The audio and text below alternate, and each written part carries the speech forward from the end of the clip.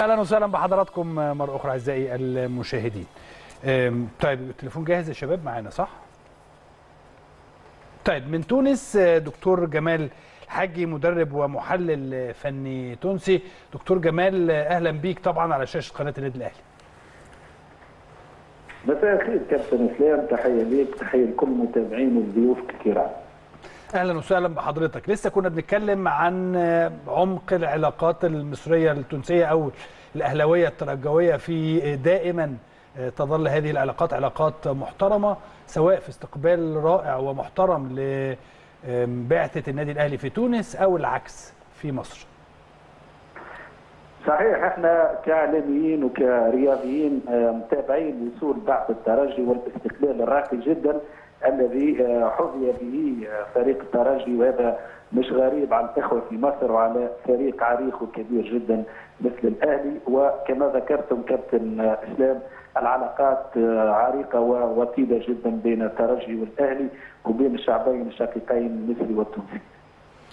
طيب دكتور جمال مباراة مهمة مباراة نهائية لسه كنت بتكلم مع ضيوفي على شكل الترجي في هذه المباراة وشكل النادي الأهلي في هذه المباراة. أم، الكل راح إنه الترجي كان لا يريد إلا أن يخرج من المباراة الأولى وكمان المباراة الثانية ب- بدون أهداف. أم، يعني مش شاغل دماغه قوي إن هو عايز يحرز أهداف. من وجهة نظرك هل ترى إن ده صحيح؟ هو آه، اولا أنا كنت متابعكم طبعا وتحية نعم. لضيوفك الكرام مرة. أخرى هو في الحقيقة آه، خلينا نتفق آه، في شيء مهم جدا في ميدان التحليل كرة القدم بصفة عامة أنه كل مباراة لها حقيقة ما فيش تشابه. أنا كنت تابع في ال- الإخوة وأخذوا كل المباريات للترجي. مباراة الأهلي في القاهرة تختلف تماما على مباراة الأهلي في رادس تختلف تماما على مباراة سان داونز في بريتوريا في تونس مباراة اساك مباراة الهلال السوداني. هذا كله مختلف كل مباراة لها حقيقة لكن آه، آه، هذه الحقيقة تستند إلى مجالات مهمة جدا في كرة القدم. مثلا الجانب الذهني الضغط سيكون على الأهلي لأنه هو مطالب أمام جماهيره أن يسرع في التسجيل في المباراة المنتظرة لأنه كل ما تأخر الأهلي في التسجيل الضغط سيكون أكبر والترجي سيأخذ الثقة أكثر. في الجانب ال- البدني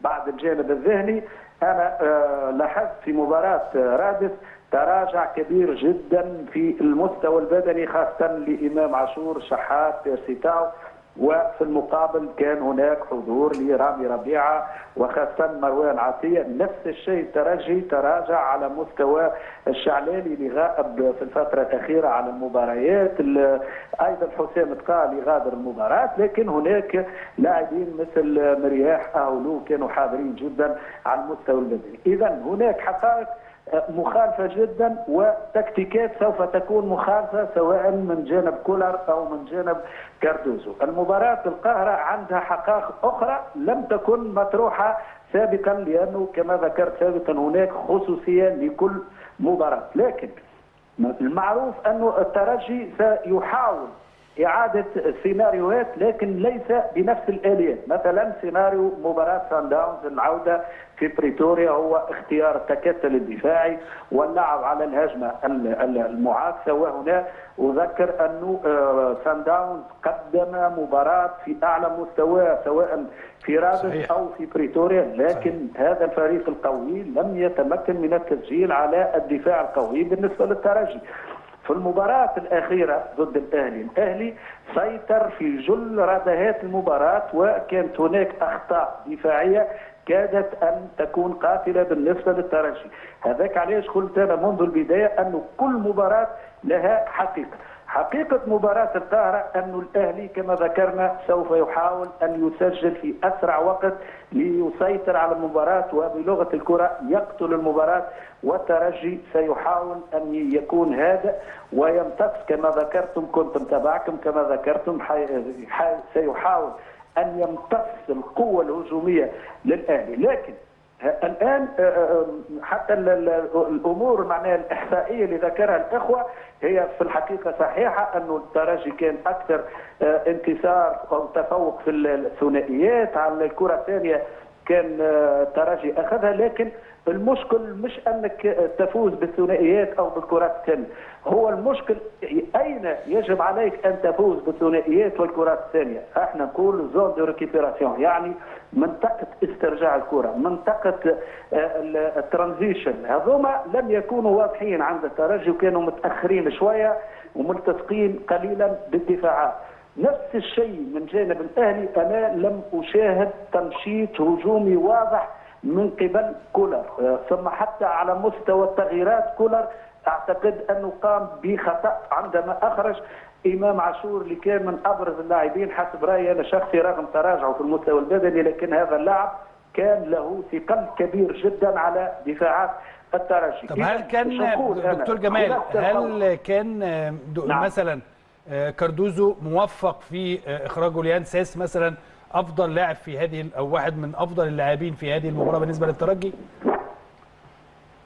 طبعا هو طبعا لأنه في الحقيقة كاردوزو مشكل ولا الشغل الشاغل في الترجي هو العمق الهجومي، اليوم في الترجي ليس لنا مهاجم يحول أنصاف الفرص إلى أهداف.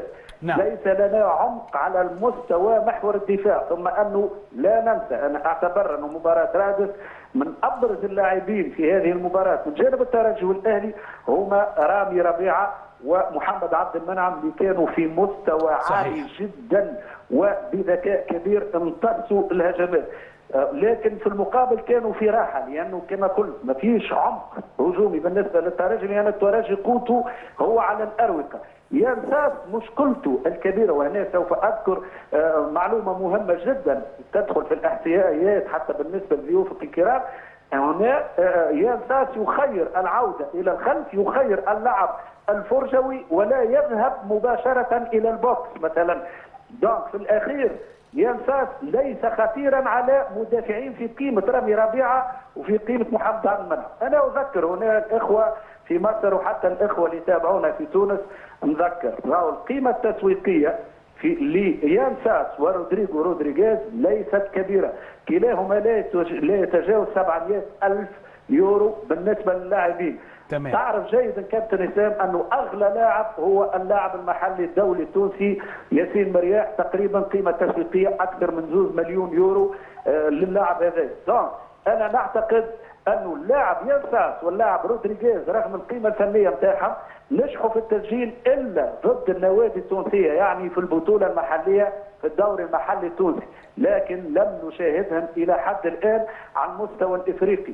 والإخوان كانوا يتحدثوا على نسخة الترجي عندما فاز على الأهلي في ال Champions League مع المدرب التونسي قدير معين الشعباني وقتها كان هناك لاعبين من مستوى عالي جدا كما البدري وغيره والبلايلي اللاعب الجزائري. اليوم صحيح الترجي يفتقد ولذلك كاردوزو يعي جيدا أنه ما عندوش نجوم ينجم يغيروا نتيجة مباراة ولذلك فهو مركز جدا منذ قدومه إلى حظيره الترجي مركز على اللعب الجماعي. وهنا مش نذكر بعض الأرقام. في المباراة رادس الأخيرة الترجي قام ب 490 تمريرة وب 58 هجمة خطيرة بينما الأهلي قام ب 430 تمريرة و52 تقريبا الأرقام متشابهة جدا. لكن لكن الترجي في إحدى مبارياته مع اسيك ميموزا في رادس قام وصل إلى سقف 700 تمريرة. وصحيح كما ذكر الأخيان ضيوفك الكرام انه راهو عدد التمريرات مش يكون له وزن ثقيل في المباراة نتاع القاهره وكاردوزو نعي جيدا هو من المدرسة البرتغالية. ونعلم جدا أن المدرسة البرتغالية تعتمد كثيرا على التمريرات القصيره والتدرج نحو الهجوم والصبر كثيرا في التمرير أنا بشكرك شكرا جزيلا. دكتور جمال على كل هذه المعلومات.